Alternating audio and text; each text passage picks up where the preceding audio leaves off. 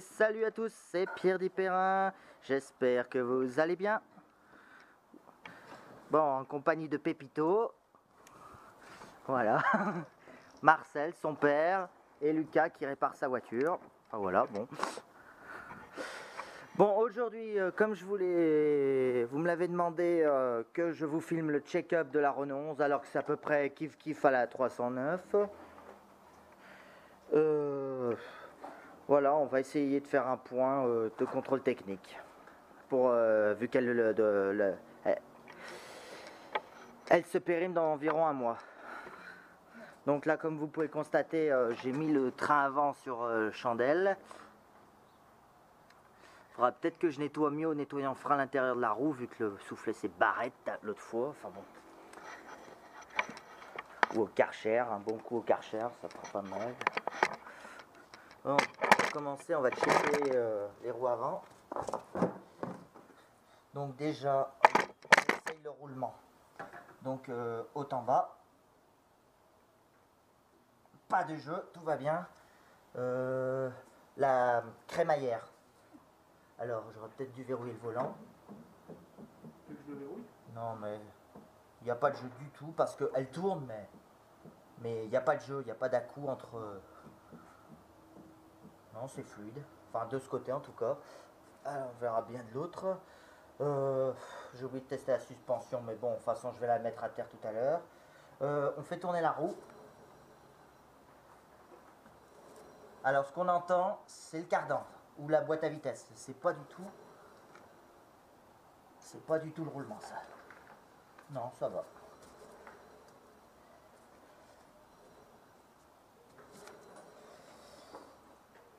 Voilà, il n'y a plus qu'à tester les freins. Quentin, s'il te plaît. Ah Pour moi. T'appuies à peine. Bon. Alors, on fait ça sans moteur. Euh, normalement, ça devrait freiner quand même. Alors là, je touche un micro la pédale. hein. Voilà, oui, bah, de toute façon. Oh, Il y a le poids de ma chaussure, tu vois Vas-y, À fond? Ouais. Ouais, bon, allez. Et encore, j'appuie pas fort. hein. Je suis à fond, mais je veux dire. Alors attends, euh, je vais la faire tourner, tu vas appuyer progressivement et essayer de retenir où tu appuies euh, quand tu... ça elle se bloque. Vas-y, vas-y.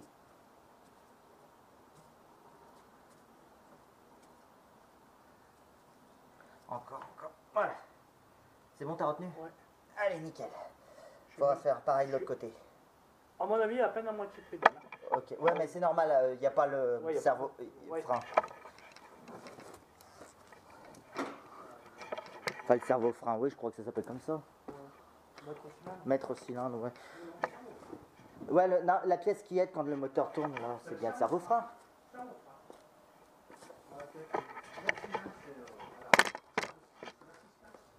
Dites-le moi en commentaire si c'est bien le cerveau frein. Alors, euh, attends, vas-y, on fait les freins, je te laisse tranquille. Ouais, Sans forcer, ouais. Dis-moi quand t'es à moitié. Je vais être peu à moitié. Oula, alors là, ça freine pas du tout. T'es- C'était comme tout à l'heure, là? Là, je suis comme tout à l'heure. Bon, bah, appuie plus fort. Là, je suis à fond. Bon, je sais pas. Ouais, bah là, ça bloque, oui, mais Je suis pas comme l'autre.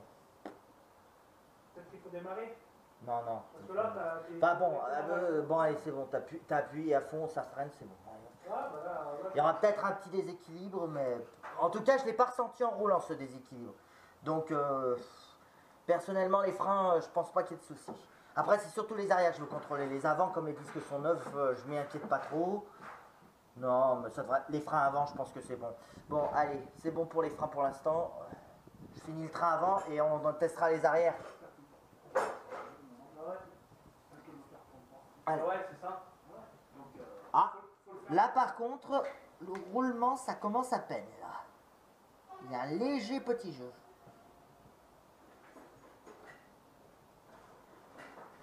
Donc à surveiller. Par contre, la direction, non, ça va la direction. La direction, j'ai pas de jeu. Mais j'ai un léger roulement là. J'ai un léger jeu au roulement. Bon, ben, je crois que je vais être bon encore à changer des roulements dans l'année qui va suivre.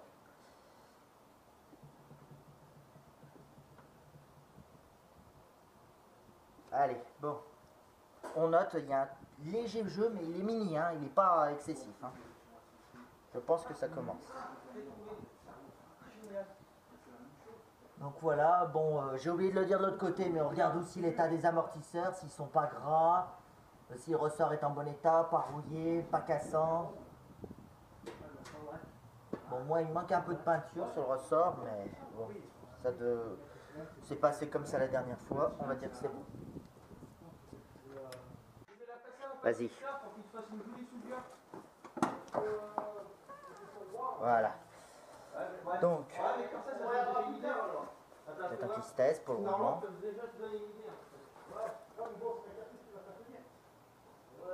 J'entends le tambour frotter légèrement, mais pas de bruit de roulement.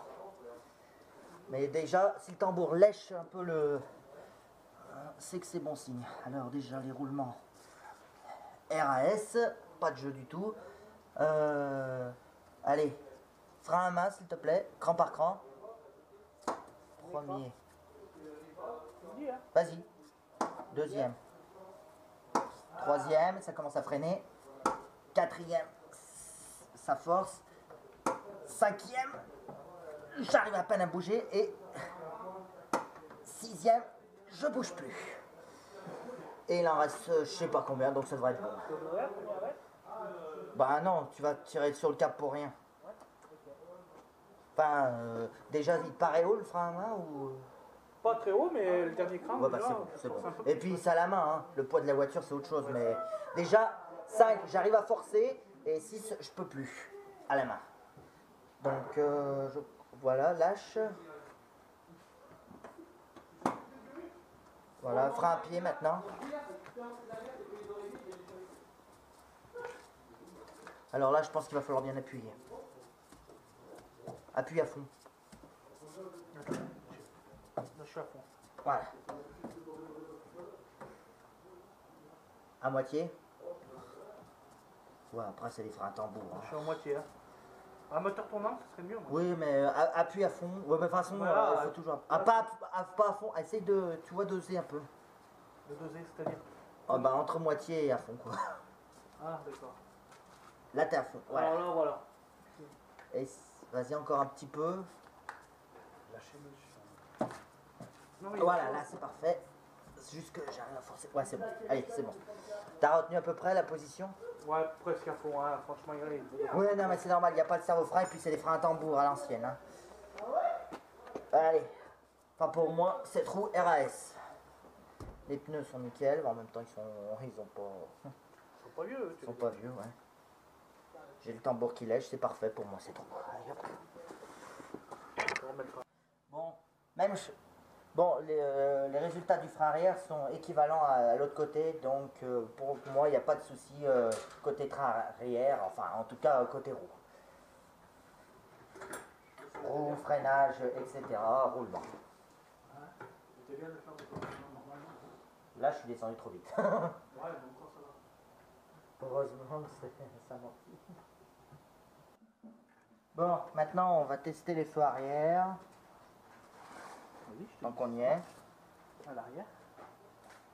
Alors attends, euh, Dis quand t'enclenches quelque chose, histoire que s'il y a un truc qui marche pas, je le sache.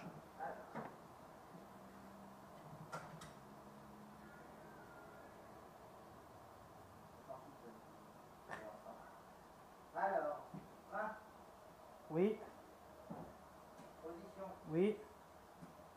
Oui, toujours. hein. Ouais. Euh, c'est ça. Anti-brouillard. Oui, Ok. Bout de recul. oui, Clignotant gauche. oui, Clignotant droit. oui, Détresse. oui. Ah, je crois que- Ouais, il y en a pas plus, hein, presque. T'as vu ça Par les anti-brouillards, je pense que je mettrai les caches. Normalement, il n'aura pas les contrôlés que quand il y aura les caches.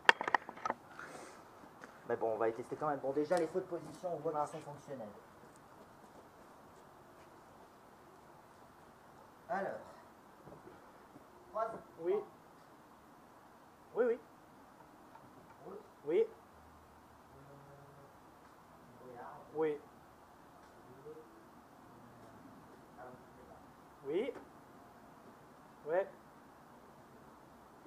morceau de rotule là, là Ouais, c'est bon. J'espère qu'elle t'entend. Ouais. Bon, bah, pour ce qui est de l'é- de l'éclairage, euh, après il y a la hauteur à vérifier, mais la hauteur pour moi elle est bonne. hein. J'y ai pas touché et elle a pas bougé. hein. Les, les phares sont bien fixés. Ouais. Qu'est-ce qu'il fait encore lui? Ouais, aïe, les phares sont bien fixés, donc tout va bien. Et je remettrai les caches chibillés sur les anti-brouillards. Oui, ça, mais ça, ça y est depuis le début, ça, Marcel. Et ça, par contre, ça, par contre, c'est une bestiole qu'il y a ici, je te dedans. je sais pas ce que c'est. Voilà, les phares ne sont pas rouillés. J'ai changé celui-là parce qu'il était rouillé. Et les trois autres étaient en bon état. Il y a juste celui-là qui commence en bas. Mais bon, j'ai mis du produit, donc j'espère que ça, ça pas. Les clignotants sont en bon état, les antibrouillards aussi, mais normalement les antibrouillards, il n'aura pas à les contrôler si je mets les caches cibiers devant. Donc, on verra bien. J'espère parce qu'il va encore me dire qu'ils sont trop hauts. Maintenant, test d'un amortisseur. Alors, euh, ouais, j'aurais pu me laver les mains, mais bon, tant pis. On appuie sur la voiture. La voiture doit remonter et ne doit surtout pas rebondir, plonger, etc.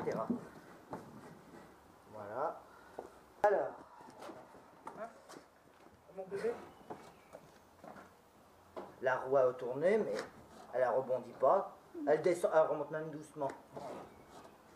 Nickel là. De toute façon, euh, je sais que l'ancien proprio les avait changés. Ils étaient neufs quand, euh, quand on l'avait acheté. Aïe, je me cogne au coffre.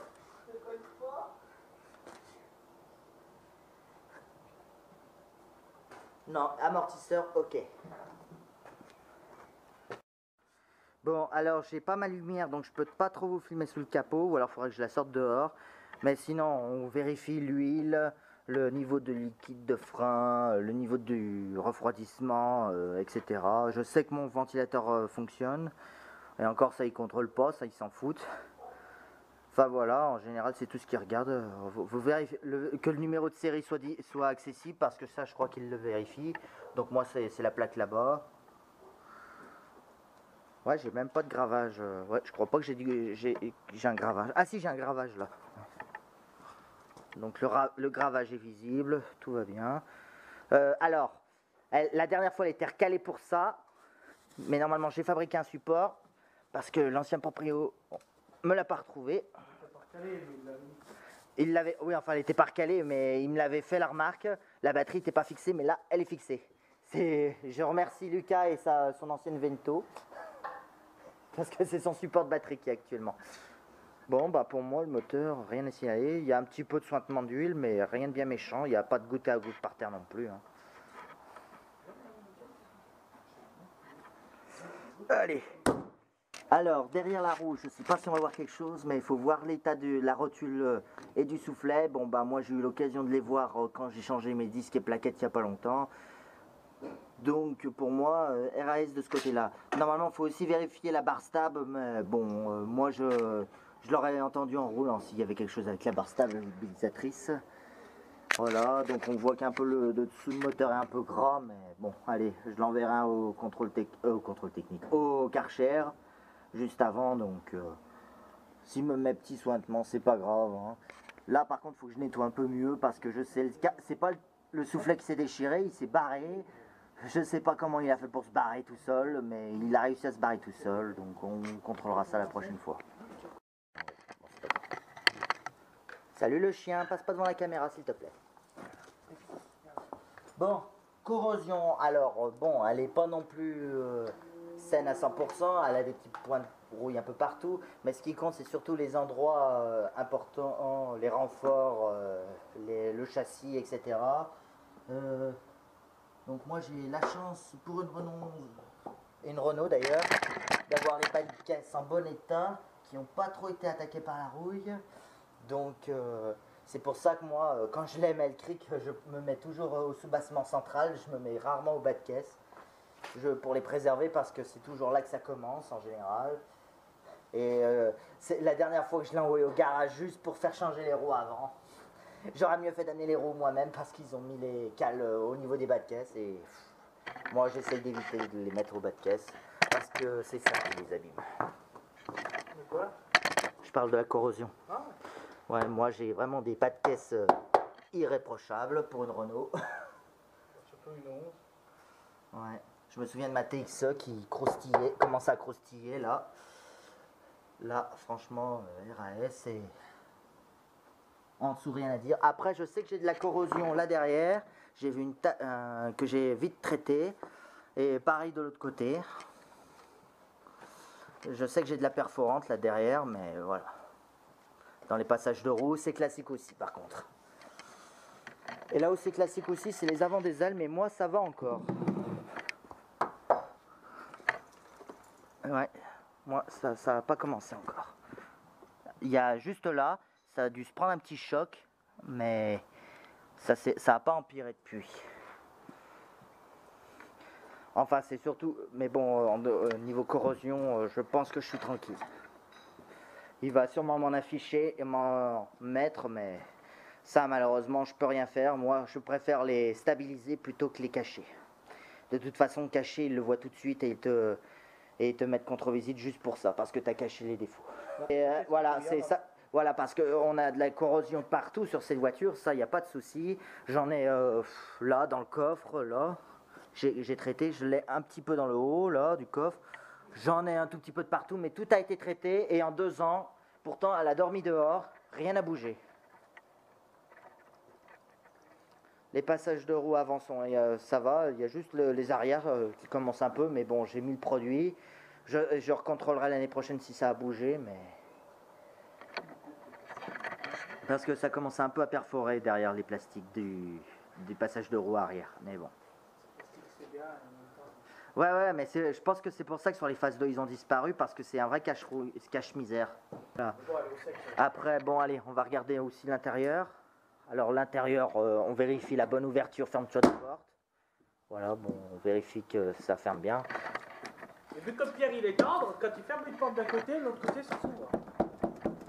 Ça tient.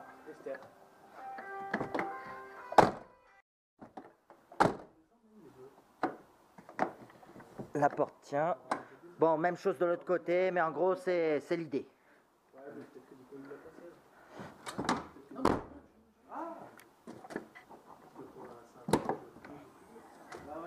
Coffre, ok. Les vérins tiennent, tout va bien. J'en ai avoir 15, 5, Capot, bon, il tient. hein. Bon, ça, c'est défaut Renault, mais, mais ça tient. Mais c'est capot qui s'ouvre dans le sens. Voilà. Voilà. Après, euh, il y a des fois, euh, le capot ferme pas, mais j'ai trouvé pourquoi. Des fois, c'est parce que des fois, le levier reste coincé dans le haut-parleur. Mais bon, ça, c'est réglé. Mais l'autre aussi qui est arrivé euh, avec la moto. Alors, après, je vais checker tout ce qui est intérieur, mais je vais, je vais sortir la voiture pour qu'on ait un peu de lumière quand même.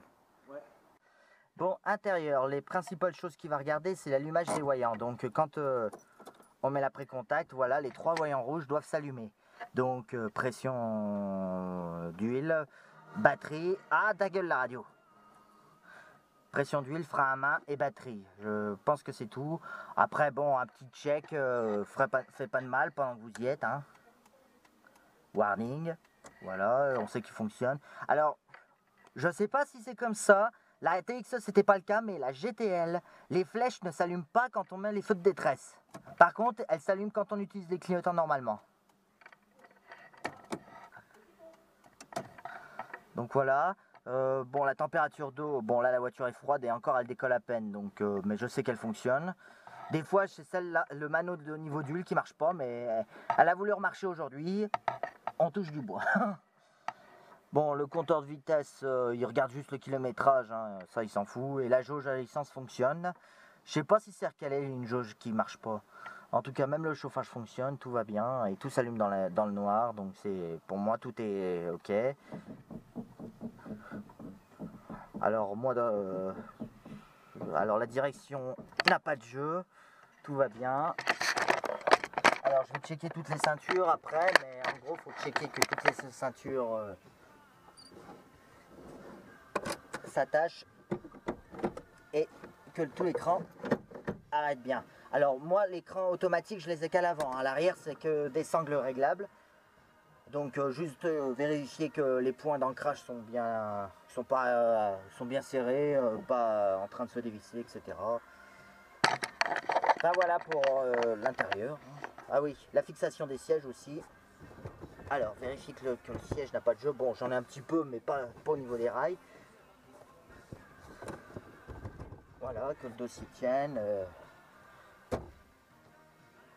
Voilà, bon, après, euh, à vous de checker tout le reste, si vous voulez, euh, l'état des éclairages, euh, les vitres, les vitres, etc. Enfin, moi, c'est vitres manuelles, donc si ça tombe en panne, c'est vraiment que j'ai pas de chance.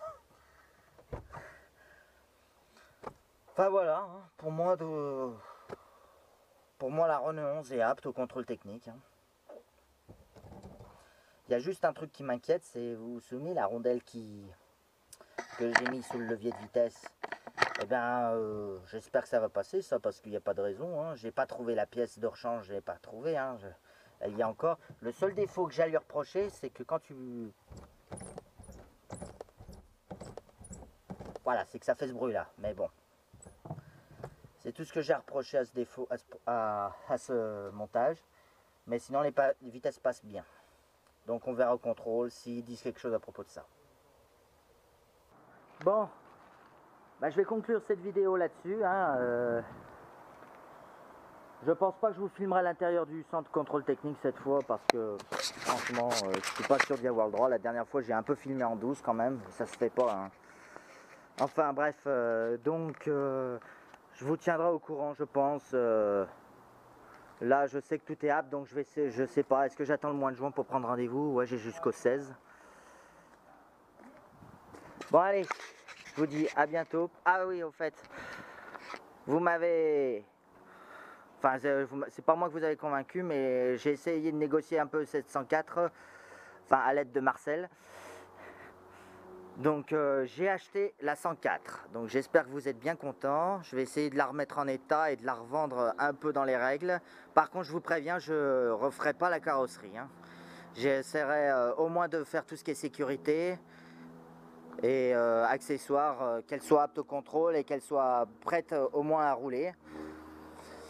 Donc après peut-être le seul truc le seul truc que j'essaierai de refaire c'est peut-être la planche arrière, je ne sais pas encore comment et la planche de bord essayer de la fixer un peu correctement et tout ce qui est électricité alors ça garantie Pierre Dipérin, je sais pas J'aurais quand même dû parier que tu l'achèterais cette voiture. Moi je l'avais dit dès le départ. Bah oui, mais bah, que, je l'achèterais franchement, c'est pas vraiment une voiture qui me plaît.